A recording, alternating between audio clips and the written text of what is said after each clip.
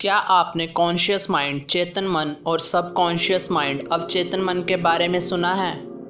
Good question you are a good question अगर नहीं सुना है तो कोई बात नहीं। आज हम इसी टॉपिक पर बात करेंगे। दोस्तों स्वागत है आपका हमारे इस चैनल पर जिसका नाम है बियॉन्ड द इमेजिनेशन यानी कल्पना से परे। यहाँ हम बात करते हैं कुछ ऐसे टॉपिक्स पर जो आपको मजबूर करते हैं अपनी कल्पना से परे सोचने पर। चलिए चलते हैं अपनी आज की वीडियो पे।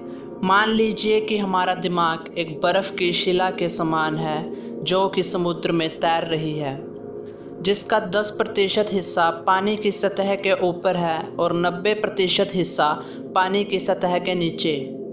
सिगमन फ्रॉड, जो कि एक Austrian neurologist and father of modern psychology थे, वो बताते हैं कि यही स्थिति हमारे दिमाग की है जो 10 प्रतिशत हिस्सा पानी के ऊपर है, वो हमारा कॉन्शियस माइंड है और बचा हुआ 90 प्रतिशत हिस्सा वो हमारा सब कॉन्शियस माइंड है और अनकॉन्शियस माइंड है। चलिए बात करते हैं कॉन्शियस माइंड की। कॉन्शियस माइंड हमारा दिमाग का वो हिस्सा होता है जो कि हमारे प्रेजेंट को कंट्रोल करता है। यानी दूसरे शब्दों में कहें तो यह हमारे सारे वॉलेंट्री एक्शंस को कंट्रोल करता है। जैसे चलना, बैठना, उठना, दौड़ना, यानी जो एक्शंस हमारे कंट्रोल में होते हैं, यह सारे एक्शन हमारा कॉन्शियस माइंड कंट्रोल करता है।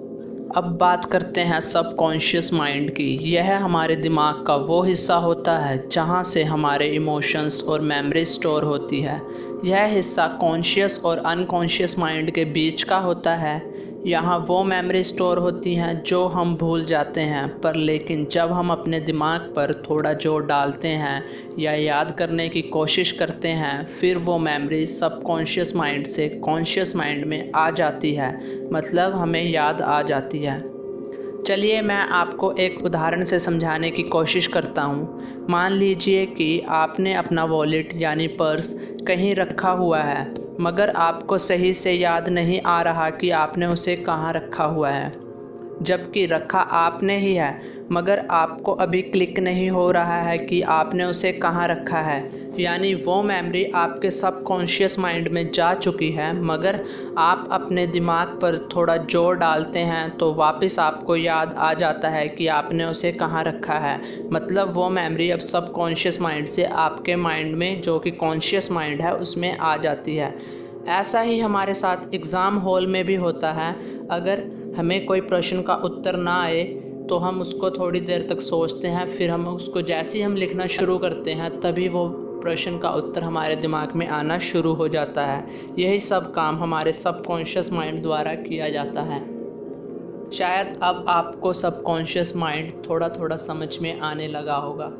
अगर मैं आपको और सरल भाषा में बताऊँ तो हमारे जितने भी इनवॉलेंट्री एक्शन होते हैं, वो सब सब कॉन्शियस माइंड द्वारा ही कंट्रोल किए जाते हैं। जैसे कि हमारे दिल का धड़कना, जो कि हमारे कंट्रोल में नहीं होता।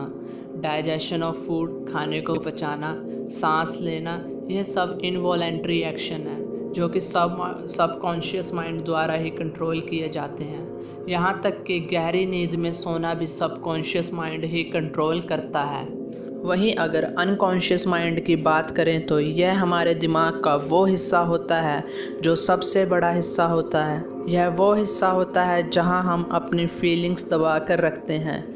कुछ ऐसी बातें जो हम किसी को नहीं बता सकते। जैसे कि हमारी डिज़ायर्स वो कोई भी डिज़ायर्स हो सकती है। जैसे कि कोई सेक्सुअल डिज़ायर जो हम शायद ही किसी को बता सकते हैं। आपने डिप्रेशन के बारे में तो सुना ही होगा। डिप्रेशन का सबसे बड़ा कारण यही होता है हमारा अनकॉन्शियस माइंड हम इसमें कुछ ऐसी बातें दबा कर रखते हैं जो हमें अंदर ही अंदर खोखला करती रहती हैं। और कुछ समय बाद यही बातें हमारे डिप्रेशन का कारण बनती हैं।